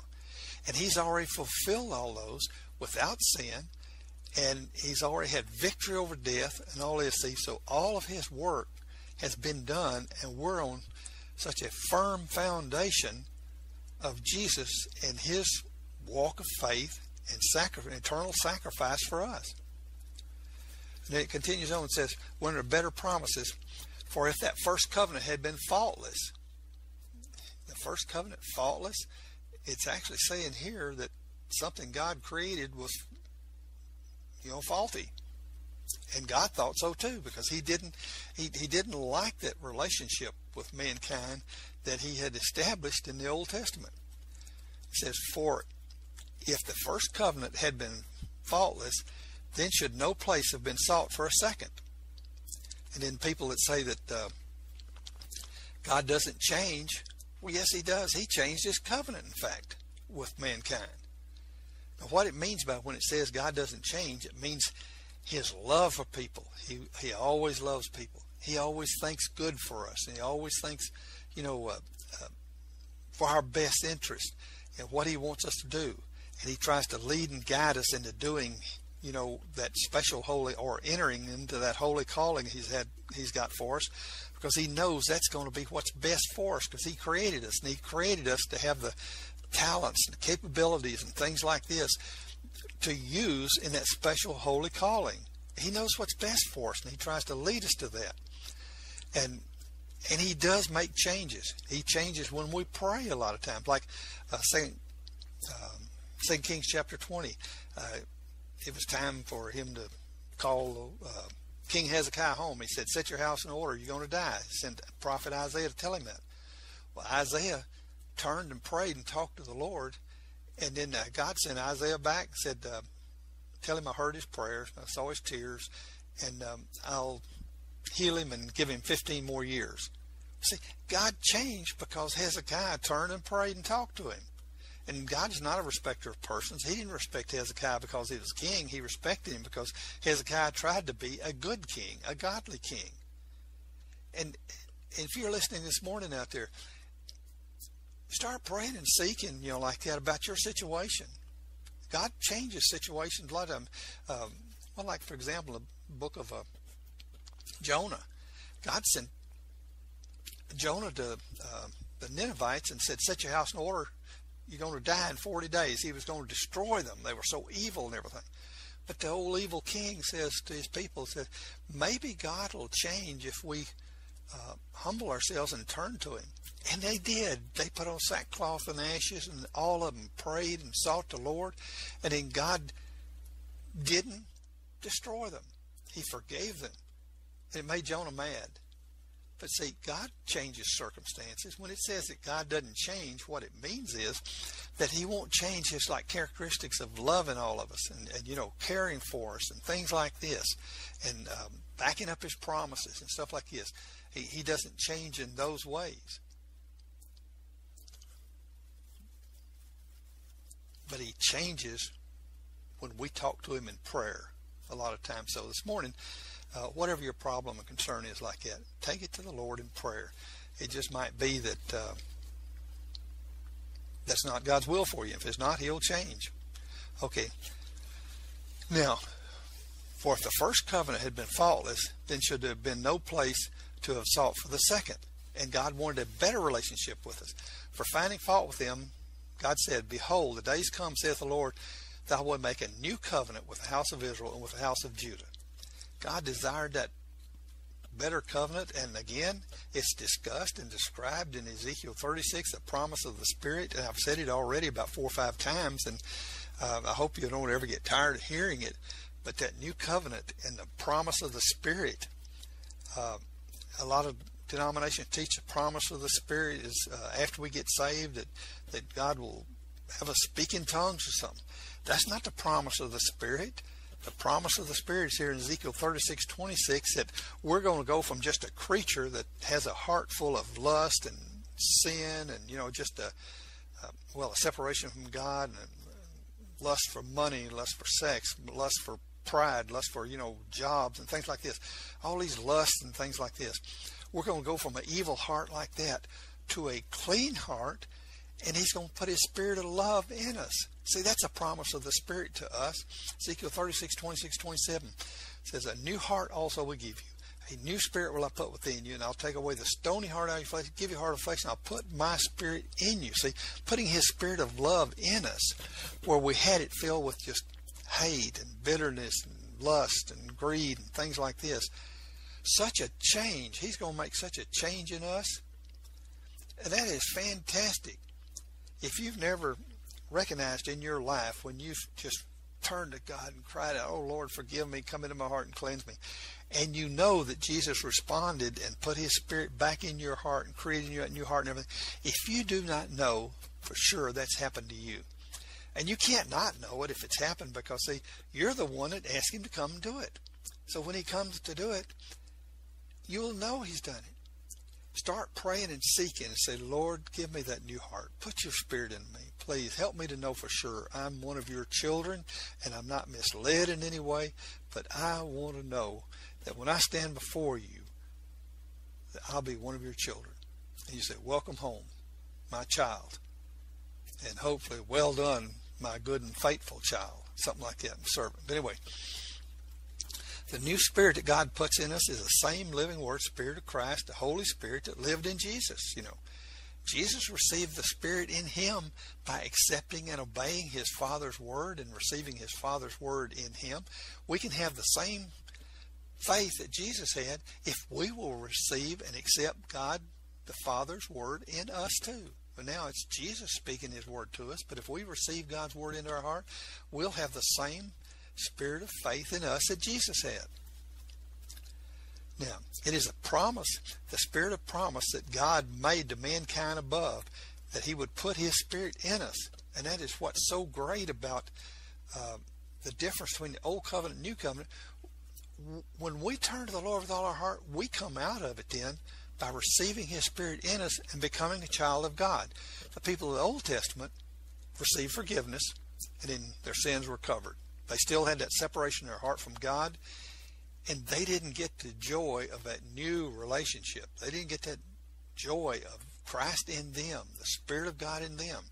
And if you don't recognize that joy in your heart, start praying and seeking until you know for sure that He does live in your heart. Because, you know, everybody ought to know that that has been filled with hate and lust and all this stuff, and then having that spirit of love come in in the place of it and a new, pure heart. That is so great.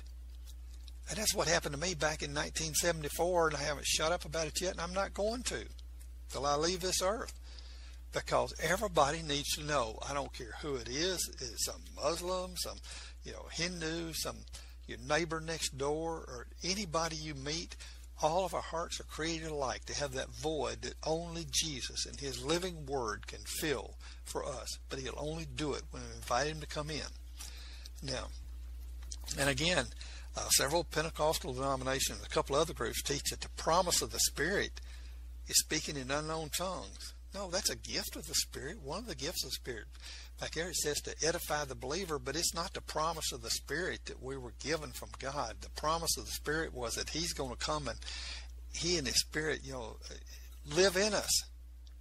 That we're going to be His child now, not just a, a new uh, type creature or something like that. It says, you know, in, uh, what is it, uh, Ephesians, excuse me, uh, Second Corinthians five seventeen. If any man be in Christ, he is a new creature.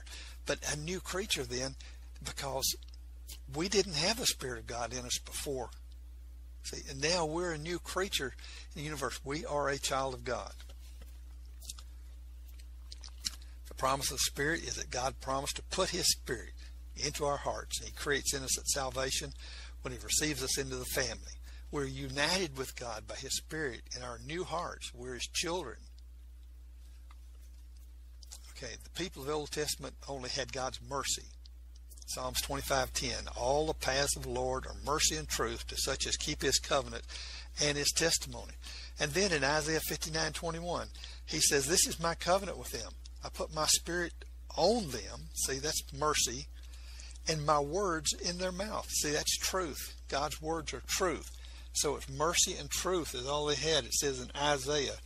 And uh, I'm going to continue this message possibly in the uh, morning in my message. There's 10 other scriptures that I have here that I won't read them to you now, but to talk about mercy and truth in the Old Testament. And see, and in none of those does it say, like here in uh, Psalms 25:10, all the paths of the Lord are mercy and truth to such as keep his covenants and his testimonies. See, it doesn't say anything here about in Jesus. See, people say that uh, Jesus was in the Old Testament. No, he wasn't. He was born and as a man raised, walked in the fullness of Christ in him, perfect walk of faith,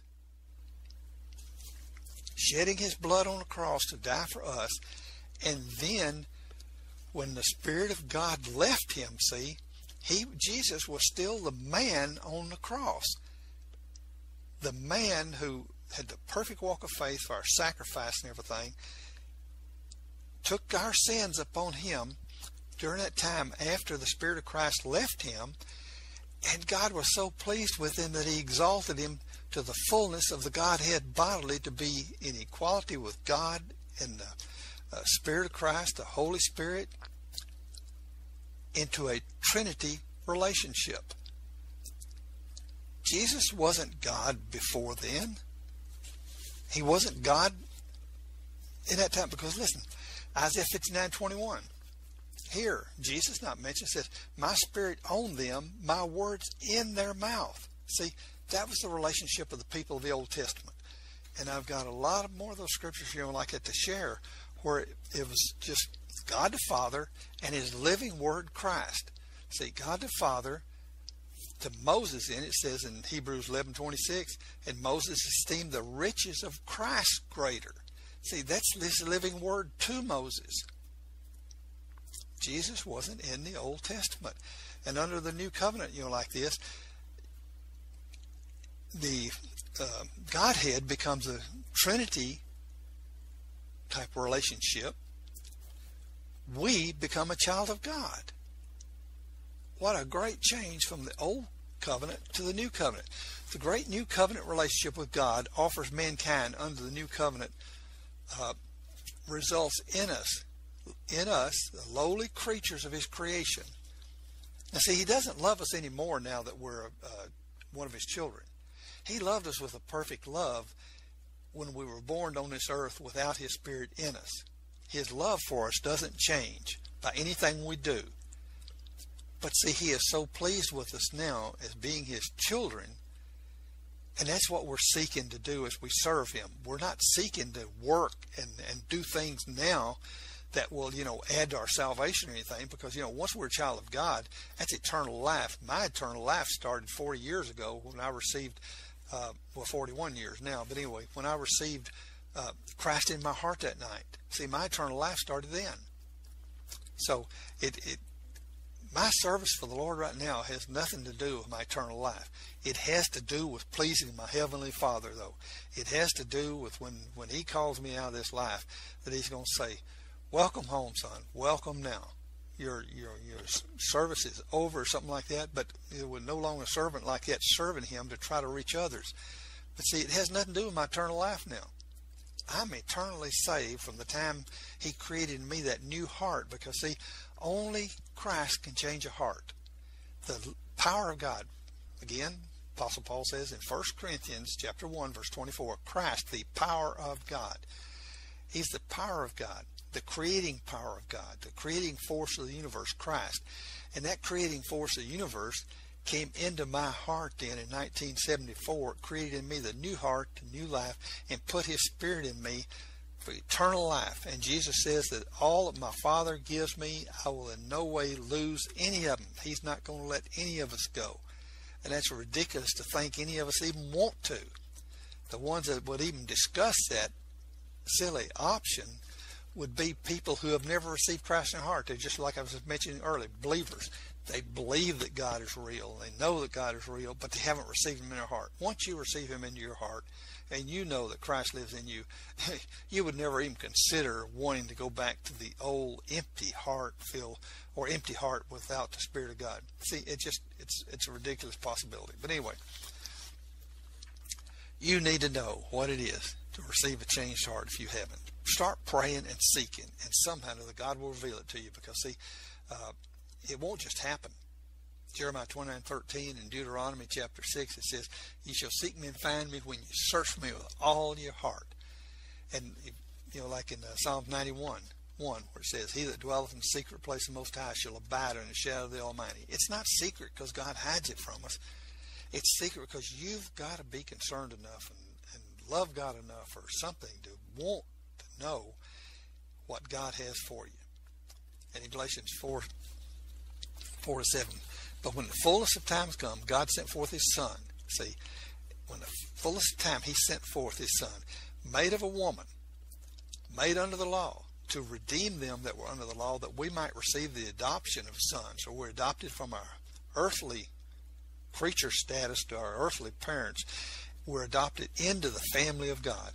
And because you're sons, God has sent forth the Spirit of His Son into your hearts, crying, Abba, Father. Now, Abba, Father means Daddy, Father. Wherefore thou art no more a servant, but a son, and if a son, then heir of God through Christ. I am a child of God here, serving my Father. You know, and I'm not doing it, you know, to get there or anything.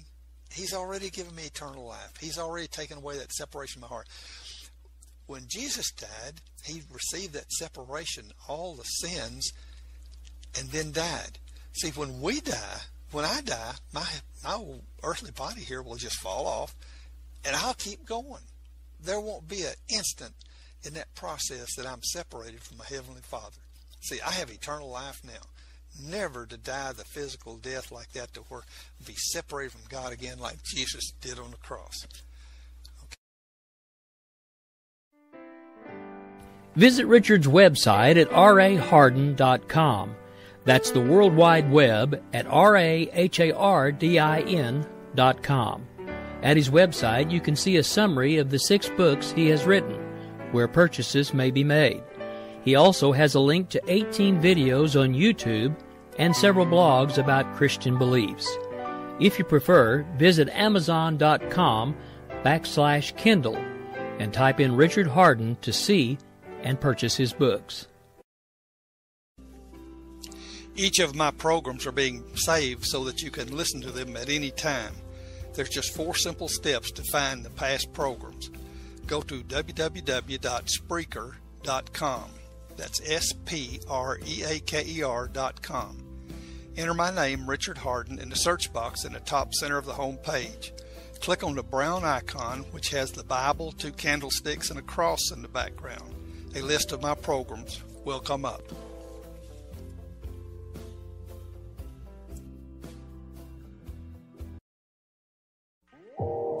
You are listening to KLRN Radio, where liberty and reason still reign.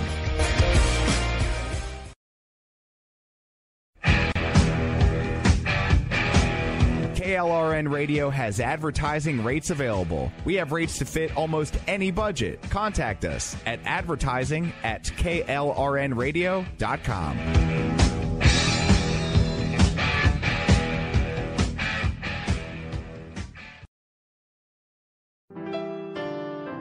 God's Pure Word of Faith with Richard Hardin can now be heard Monday through Friday mornings at 7 a.m. Central, 8 Eastern, and on Saturday and Sunday mornings at 6 a.m. Central, 7 Eastern. Join him and let's turn our country back to God. It only takes a spark to start a forest fire.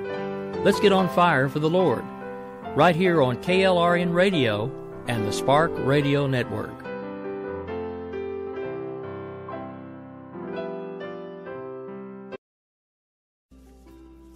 Each of my programs are being saved so that you can listen to them at any time. There's just four simple steps to find the past programs. Go to www.spreaker.com. That's S P R E A K E R.com. Enter my name, Richard Hardin, in the search box in the top center of the home page. Click on the brown icon, which has the Bible, two candlesticks, and a cross in the background. A list of my programs will come up.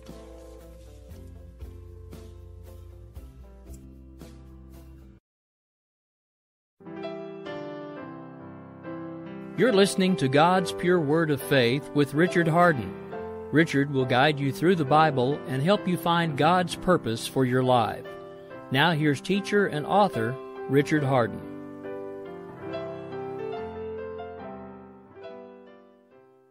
Welcome back. I'm going to share with you now uh, some of the scriptures that I mentioned just a couple of minutes ago about uh, in the Old Testament telling that Jesus wasn't a part of the Godhead.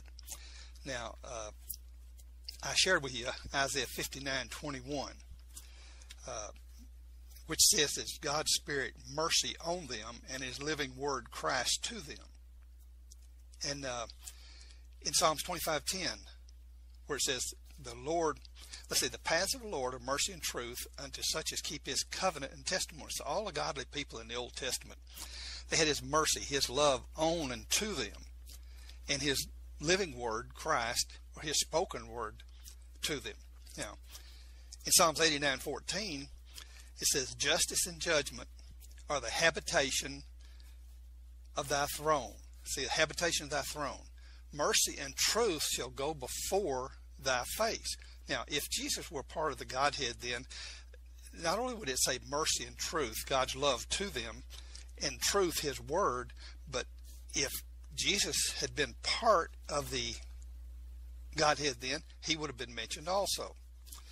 Psalms 100 verse 5 says, For the Lord is good, his mercy is everlasting, his truth endures to all generations. See again, Jesus would have been mentioned. Then in Psalms 115 1, Not unto us, O Lord, not unto us, but unto thy name give glory for thy mercy and thy truth's sake. Well, if Jesus had been there, he had said, Thy mercy, thy truth's sake, and also for Jesus' sake. But see, Jesus wasn't a part of the fullness of the Godhead then. That came to later. Now, uh, we'll return to the regular portion here. Visit Richard's website at rahardin.com. That's the World Wide Web at R-A-H-A-R-D-I-N dot com. At his website, you can see a summary of the six books he has written, where purchases may be made. He also has a link to 18 videos on YouTube and several blogs about Christian beliefs. If you prefer, visit Amazon.com backslash Kindle and type in Richard Hardin to see and purchase his books.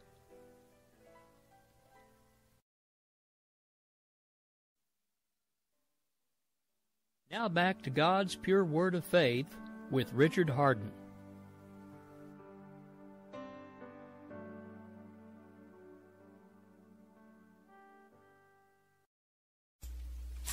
Welcome back. Now we're going into the final segment of our broadcast for today.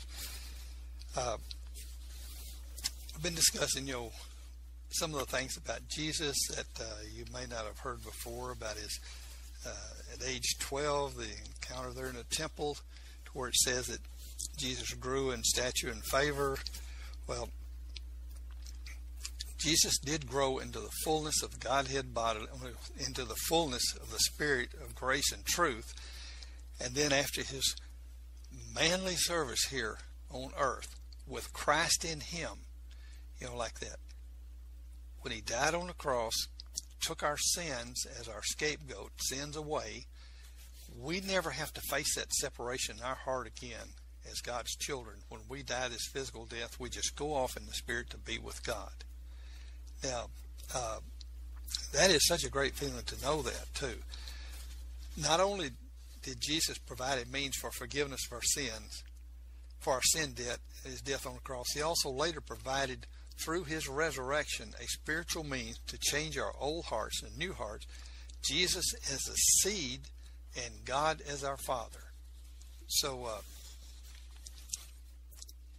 that is so special. I, that's the reason I'm here. That's the reason I'm sharing. Is because I may not be the best Christian on earth, but I sure hope that I can help some of you become a Christian.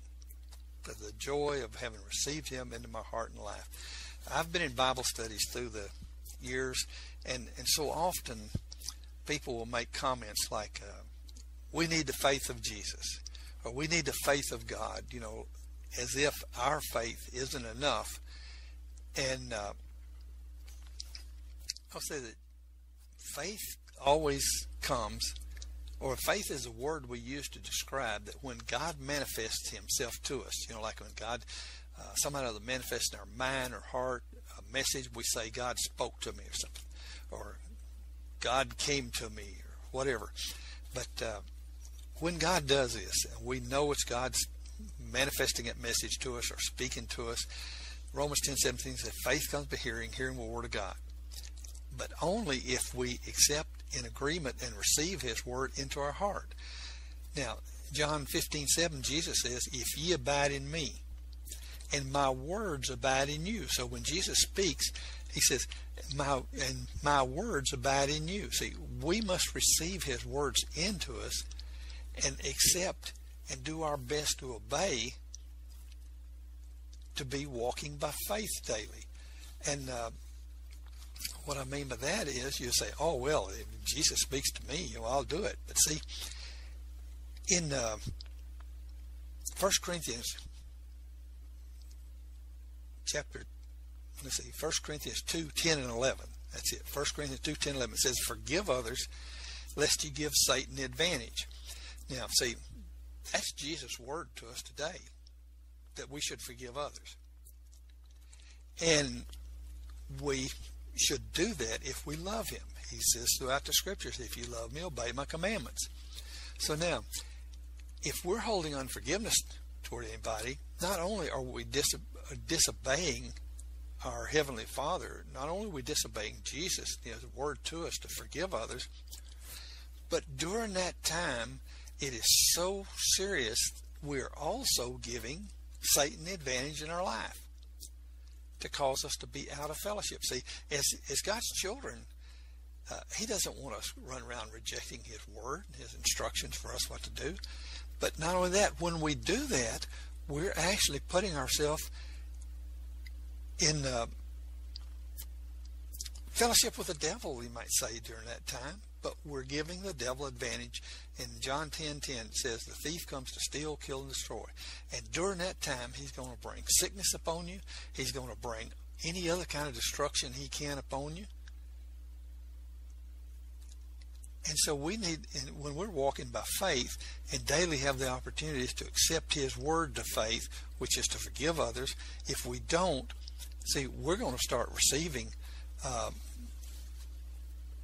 the curses from the devil and things. That's why so many Christians across our nation are in hospitals today. And that's why there's so many, you know, sick and all this because of failing to close that door to the devil by saying, Lord, please help me to forgive so and so. Please help me to forgive them. I don't want that unforgiveness in my heart. I want your love in my heart and everything. And also, you know, like it says, husbands, and, what is it? First Peter three seven. Husbands dwell your wives according to knowledge, being joint heirs of grace life, as into the weaker vessel, lest your prayers be hindered. You know that can cause you know breaking relationships and things like this can cause our prayers to be hindered because we aren't allowing Jesus' words to abide in us. He says, If ye abide in me and my words abide in you, ask what you will. But see, when we're out of fellowship with, with what we know the scriptures teaching us do, pray for those who despitefully use us, you know, seek the Lord. It says it's evil not to seek the Lord. Second Chronicles twelve fourteen it says Rehoboam, Solomon's son, did evil because he prepared not his heart to seek the Lord. See, we have a responsibility as his children uh, not to do these things to try to earn our salvation or something like that. See, when when Christ came in our heart, we received salvation then. We became a child of God then. It's just to leave live here pleasing to our heavenly Father and serve Him in a way that you know uh, that He wants us to.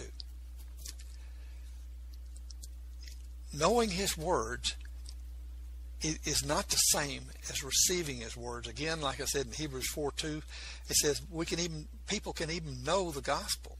For unto us was the gospel preached as well as unto them, but the word preached did not profit them, not being mixed with faith in them that heard it. And then Psalms 119 9, wherewithal shall a young man cleanse his way? By taking heed thereto according to God's word. People can go to church a lot. People can preach. People can sing in the choir. People can be choir directors without having the Spirit of Christ in their heart. They can do it based on talents and things they've learned here on earth, you know, how to play pianos, how to sing, and do this and everything. Now, regardless of how God reveals His Word or will, or how we come to understand His Word or will, when we hear His Word, we must accept His Word to faith in our hearts, or with an evil heart, reject His Word unbelief. It says in Hebrews chapter 3, verses 12 through 19 that the children of Israel failed to enter the promised land because of not doubt, but unbelief. They didn't trust God enough to accept His word to cross over the promised land, that He would take care of them after seeing all those miracles and everything like that. And it says they failed to enter in because of an evil heart of unbelief and departing from the living God. See, the living God, He, he and His Word are alive in us, a spirit, and are alive. And we reject His will and His Word. We're respecting, we're rejecting the living God. Christ is a living Word in us. If we reject the living Word, we're rejecting a living God. Okay, we do not have faith until we make a choice to receive and accept God's Word into our heart. Now, another word, we do not accept God's word by faith. See, when God speaks to us, we don't have faith and accept His word. When God speaks to us, we have to make the choice right then to accept His word to faith. You know, because if we choose to reject His word, we're rejecting it to unbelief. See, so when we receive His word, we make the choice whether it becomes unbelief to us or faith to us, by which we say. Now, to show us a perfect walk of obedience, Jesus said in John 5:19 of himself, Verily, verily, I say unto you, the Son can do nothing himself, but what he seeth the Father do, for what things soever he doeth, these things he doth, doeth the Son likewise. And in John 5:30, I can of my own self do nothing. As I hear, I judge, and my judgment is just, because I seek not my will, but the will of the Father that sent me. See, so his faith was acceptance and obedience to his Father's word. Our faith is acceptance and obedience of our Father's word. So if we want to have the faith like Jesus, well, you know, we can't have his faith because, you know, he lived by his faith. We've got to be lived I mean, we got to be living by our faith. Now, and Jesus in John chapter 10 and Matthew 26 and Luke 22, he said he didn't have to give up his life for us, but he chose to give his life in agreement with his Father's will. Therefore doth my Father love me, because I lay down my life that I might take it again. No man taketh it from me, but I lay it down myself. I have the power to lay it down and the power to take it up. This commandment I have received of the Father. And, uh, you know, he voluntarily took upon him our sin that we might be forgiven of it. Now, some people say that Jesus forgave our sins on the cross and everything. No, he made potential for our sins to be forgiven. We have to receive God's word in our heart. We have to ask forgiveness of our sins. And then when we do, then he forgives our sins when we ask. But he didn't forgive the sins on the cross. He forgave, you know, or he, he asked his father to forgive those that were persecuting him then and everything and crucifying him because they knew not what they were doing. But he made potential for our sins to be forgiven, for all of our sins to be forgiven, for us to come into fellowship with God and become a child of God and that total separation of our heart from God to be filled with God and His Spirit. Now, he made that potential on the cross for us. But everybody does not choose to receive that payment, like in uh, Romans 6 uh, 23. The wages of sin is death, but the gift of God's eternal life through Jesus Christ our Lord. Many people turn and do not receive that gift for different reasons. Some because, you know, uh, uh, they've been hurt by ministers, they've, they've known people that were Christians, and uh, it just we need to be living the kind of life to be an encouragement for people to turn to the Lord and to receive Him as their personal Lord and Savior, that they can see in us something that they're missing and uh, that they need, they feel like they won't. But that's not happening in our society. In our society, it's people want to get rid of Christians if there's a problem. You know, like in Washington, something they don't say, uh, "Send me some Christians," you know, to uh, talk to or something. They say, "Get rid of the Christians." So we can work on the problem, so we can do something. Our society has just flipped in the years since it was formed of being a uh, godly nation. Uh, now it's run by such ungodly laws and ungodly people and everything like that, and it, it seems to be getting worse.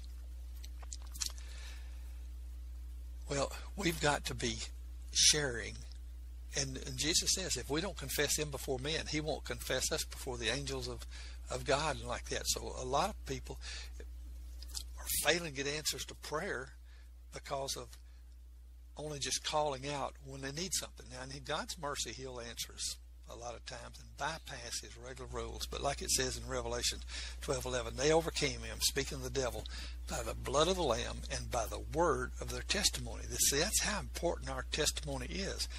And Jesus says in John chapter 8, verses 20 and 29, when ye have lifted up the Son of Man, ye shall know that I am He, and that I do nothing myself, but as my Father has taught me, I speak these things. And He that sent me is with me. The Father has not left me alone, for I do always those things that please Him. And we lift up the Son of Man. When we lift up Jesus in our daily life, like at a grocery store or the gas station or other places we go, we lift Him up and tell people what He's done for us you know, that then will give them an encouragement. When, when somebody um, asks you to pray for them, don't just say, oh, yes, okay, I'll pray for you, something like that. Pray with them then if you can, because when whatever it is that is asking you to pray for them about, when they hear your prayer, you're praying to God and you're asking Him to do something to help the person, then when God does it, they'll see and know that's an answer to prayer. And Jesus says, if he be lifted up, he'll draw men into him. And that uh, it's so important, our testimonies, to, to overcome, you know, the devil. And they overcome him, the devil by the blood of the Lamb, what Jesus has already done for us, and by the word of their testimony. so Jesus' faith, he lived by his faith by acceptance and obedience to his Father's word. We must live by our faith our acceptance and obedience to God's word. So we don't need Jesus' faith. We need the result of Jesus serving by his faith, you know, becoming our sacrifice and becoming, you know, our Savior. But we have to live by our faith. And in see, 1 John 5 4, it says, This is the victory that overcomes the world, even our faith. And then in um, let's see, Ephesians six sixteen, it says to put on the shield of faith. That means we've got to be shielded from the devil and all the fiery darts of the devil and everything by our acceptance and obedience to God's word. See, we have to make the choice to do that. We have to be seeking in God's word His promises for protection, for deliverance, for these things like this. And then accepting and obeying His word. Now, it is so serious, you know, that uh, we need to be studying to become the kind of people that God wants us to be. I've been sharing throughout this about how to become a child of God. And right now, I want to invite you, if you've never received Christ in your heart, to do that with me. Let me just go over a little information here. The promise of God to cleanse and give us a new heart that He will live in as our Father is given in Ezekiel 36:26, which I've quoted several times here this morning about the new heart, and He'll put His Spirit in us, and He'll you know live in us. And God has made it so easy for us to invite Him into our hearts by just asking Jesus to forgive our sins, and invite Jesus to send His Spirit, Christ, to create in us our new cleansed heart, in our new clean hearts. Our request must be sincere and wholehearted to want to be free of our sins and to be cleansed from our sins. Because God's Word states in 1 John 1 9, if we confess our sins, He is faithful and just to forgive us our sins and to cleanse us from all unrighteousness. For us to repent and ask for forgiveness means that we want Him to cleanse us from sins too. We can't just become a child of God or a son of God and and ask him you know to forgive our sins and not cleanse us from it. Because that wouldn't make sense that we're turning from our sins to him. And some people say that you know well I took Jesus as my savior and then I took him as my lord no we want him to come in and and we got to be praying with a repentant prayer of wanting to turn from those sins and ask his forgiveness. And that's what repentance means. And if we re- truly repented from our sins and asked forgiveness, we'd want him to cleanse us from those sins too. Because, see, that's why we will be turning to him, asking him about it. When we become a child of God or son of God, as Galatians 4 6 and 7 says, and because your sons, God has sent forth the Spirit of His Son into your hearts, crying, Abba, Father. Wherefore thou art no more a servant but a son, if a son, then an heir of God through Christ. Now, Abba Father means Daddy Father.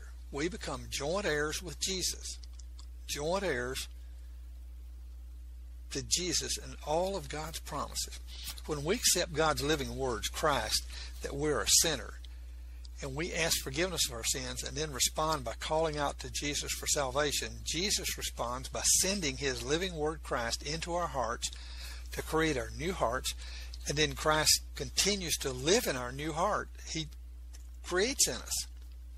We are then born in the family of God as God's children. As Jesus said in John 3 7, ye must be born again. You know, there's no way to get around it. To be pleasing with God, we must accept and obey His Word, and His Word says we must be born again. We must come to Him and ask forgiveness of our sins for cleansing. And Romans 10:13 says, "Whosoever shall call upon the name of the Lord shall be saved." And that name is Jesus, the only name given among men that we might be saved. Now, I would like to invite you to pray along with me right now and receive Christ into your heart if you're listening it's just a simple honest prayer of repenting that is wanting to turn from your sins, desiring to turn from your sins, trusting and giving your life to Jesus and inviting Christ, Jesus' Spirit, the Spirit of Christ, the living Word, to come into your heart and live. If you'll pray with me, Jesus, I ask you to please forgive me and cleanse me of all my sins. I want to turn from my sins. I surrender my heart and my life to you and invite your Spirit, Christ, to create in me the new clean heart and live in my heart. In your name, Jesus, I ask. Amen. With an honest prayer, Christ will come to live in your heart. He's in your heart now if you prayed along with me. And you know, as Christians, we have a new heart from God and the Spirit of Christ, God's power in us. God is love, and His Spirit is in our hearts. In John, 1 John chapter 4, verse 18, it says, There's no fear in love, but perfect love, God, casts out fear, because fear is torment. He that feareth is not made perfect in love or God yet. So in James 4 7, the scripture says, Submit therefore to God, or his spirit in you. Resist the devil, fear, and he, the devil and fear, will flee from you. When you start getting apprehensive about something, like starting to fly or a storm coming, looking ahead at what might happen to you in your job, your health, don't just worry and think about these future events or maybe something that you're even going through right now. Philippians 4 6 says, When you start getting anxious, turn to God then by prayer and supplication with thanksgiving. Let your requests be known to God. Your request and your concerns be known to God. Worrying won't help you one bit, but it will cause you to miss God's blessings to you during that time. So, choose, make the choice yourself to set yourself in submission to God in prayer, talking to God, and counting your blessings from past things, experiences with God then watch the devil and fear flee from you. Now, always let your anxiety be a red flag to remind you to pray. God loves you, he will hear you. And in first uh, Colossians 1:27, Christ in us, our hope of glory. So have a good day. God bless you and be set free. Visit Richard's website at rahardin.com. That's the World Wide Web at R-A-H-A-R-D-I-N.com. At his website, you can see a summary of the six books he has written, where purchases may be made. He also has a link to 18 videos on YouTube and several blogs about Christian beliefs.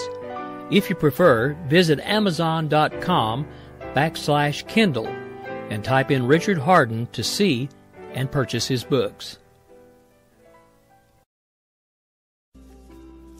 Each of my programs are being saved so that you can listen to them at any time. There's just four simple steps to find the past programs. Go to www.spreaker.com. That's S P R E A K E R.com.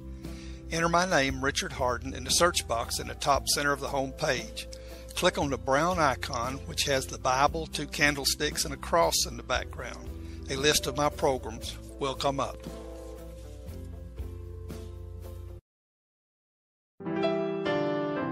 God's Pure Word of Faith with Richard Hardin can now be heard Monday through Friday mornings at 7 a.m. Central, 8 Eastern, and on Saturday and Sunday mornings at 6 a.m. Central, 7 Eastern. Join him and let's turn our country back to God. It only takes a spark to start a forest fire. Let's get on fire for the Lord. Right here on KLRN Radio and the Spark Radio Network.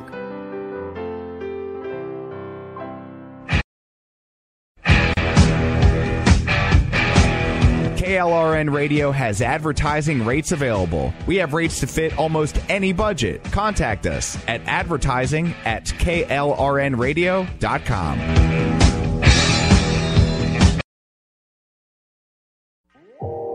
You are listening to KLRN Radio, where liberty and reason still reign.